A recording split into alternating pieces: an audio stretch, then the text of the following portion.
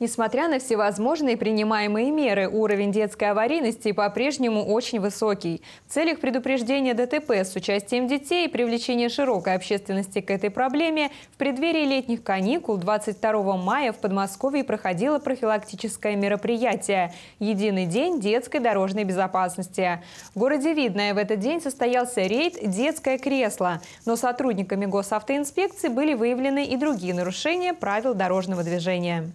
Запланированный рейд «Детское кресло», проводимый в рамках профилактического мероприятия «Детям Подмосковья безопасные дороги», стартовал в городе Видное 22 мая на пересечении Советской улицы и проспекта Ленинского комсомола.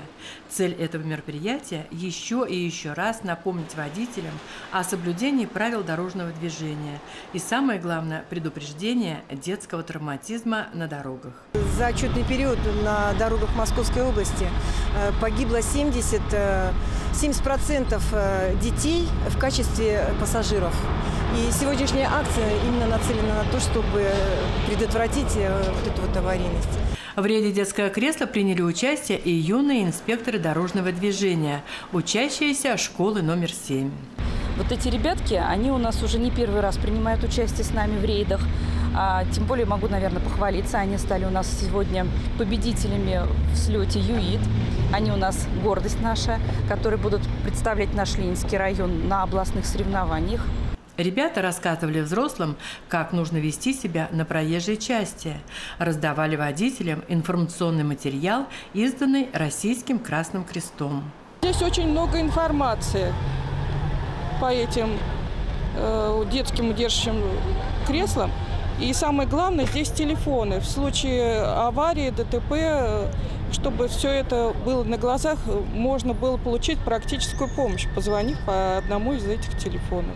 Юидовцы, помощники госавтоинспекторов, не только в школе первые пропагандисты правил дорожного движения. Мы ходим в детский сад, чтобы детей с раннего детства научить правила дорожного движения, чтобы они в дальнейшем их соблюдали.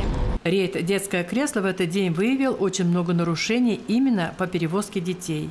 Некоторые папы уверяли, что мама с ребенком на руках, пристегнутая ремнем, может служить удерживающим средством. В данном случае водитель ошибается, поскольку на, на все категории детей, да, а начиная от э, только новорожденных, вот, до 12 лет существуют категории классификации э, специальных удерживающих устройств. В данном случае это должна быть, э, если не автолюлька, то следующее э, ну, по, по возрасту, по весу, по массе ребенка должно быть все рассчитано. За тонировку боковых стекол многие водители в этот день поплатились снятием государственных номеров с автомобиля. Тонировка, она снижает угол э, зрения водителя, особенно в условиях недостаточной видимости, в темное время суток.